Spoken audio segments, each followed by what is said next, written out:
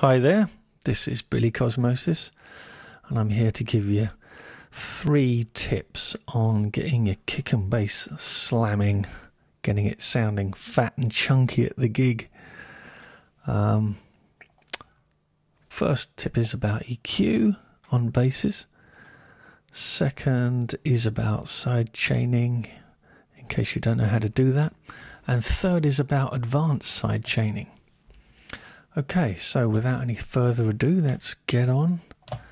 So, look here, you'll see I've got a kick drum here. I'll play it. There you go, 140 BPM. And uh, over here I've got a bass line doing straight sixteenths. Nothing very complicated there or surprising.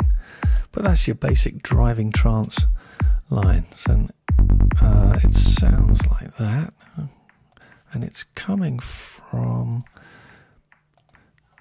this here synth. If I play it, there you go. Basic trance groove. Now,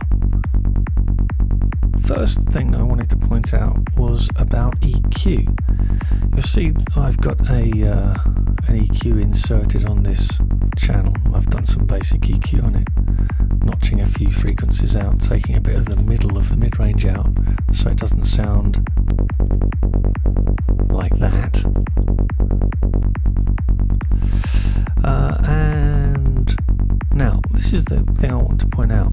I've got a uh, an EQ node here at 30 hertz, which is below the range of of um, of hearing. Really, it's a, it's not below the range of hearing, but it's it's it's below the useful frequencies. It's the very bottom end of the sub bass. It's kind of nice. You can only feel it. You can't really hear it uh, so well. Now, um, listen to what happens if I uh, remove everything below 30 or with a steep high pass 30. Listen on the bass line. Listen to what happens.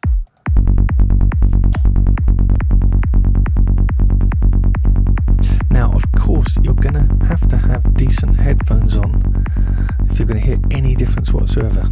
Of course, laptop speakers are not going to do it, or even earbuds.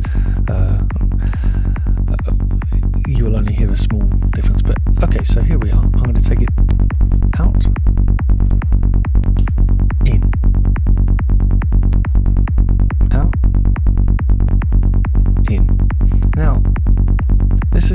huge difference.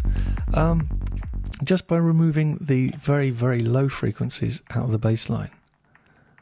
As I said, that's high pass, steep high pass filter at 48, set to 30 hertz, which is very, very low. So, what's happening there? This is the important thing uh, because uh, it sounds as though the, the bass line goes up very slightly in volume and the kick becomes clearer and the whole the whole bottom end has more definition. Uh, plus, if you're removing low low frequencies in the bass line, that's going to help your headroom when it comes to the final mastering. So it's a, it's a, can only be a good thing in from those three points of view. So what is actually happening? Um, well, I think what's happening is that the low frequencies on the bass line are conflicting with the low frequencies on the kick, and they are arguing and phase cancelling. Um, low frequencies, like cats, two cats in a sack, cannot coexist peacefully. They have to argue with each other. And uh, so, if you want your uh, kick to sound big and fat and chunky, then um, if you have very, very low frequencies, which aren't a whole lot of use, uh, being eaten up by the bass line, then um, they're going to conflict. So if you remove them, then you will get a, uh, a, a more room, more low frequency space for the kick frequencies to develop unhindered, and so it will sound more consonant, more chunky, more fat. So, uh, an, another possible reason that that that difference happens is that there's um, all EQs introduce some kind of phase shift as well. So there might be something going on there as well that makes that effect. But it's a very pronounced effect, and it's worth um, doing that to your bass lines, high passing them with a steep high pass at a very low frequency, and you gain additional clarity on your kick. So that's tip one. Now, on to side chaining. Now, your usual way of side chaining in live is very, very easy. All you do is, let me put the kick on again, is you get your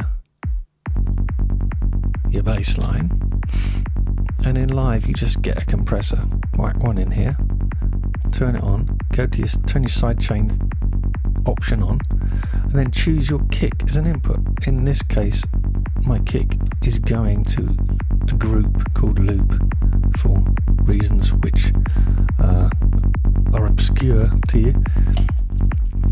Okay, and then you just turn up this gain knob to push the signal to make the compressor work. So, there you go. And you set your release time there. That's too long. The bassline's not recovering its full amplitude before the next kick hits. But if you go somewhere in the middle, you'll get a nice bounce that's in tempo. Obviously, that's too much. I'm exaggerating it so I can hear what I'm doing. And then you put your gain down. That's zero side chaining. That's a bit too much, maybe. But now you've got a nice bounce happening. Now, Live used to have a scale down the side to show you how much you were ducking it, which was kind of useful information to see. You know, you could measure that you were going 6 or 8 dB of duck and so you can just reset it when you look at any compressor because you know how much you av- generally you duck it by to get a good sound. Uh, but they did away with that for some strange reason, so you have to do it by ear and eye.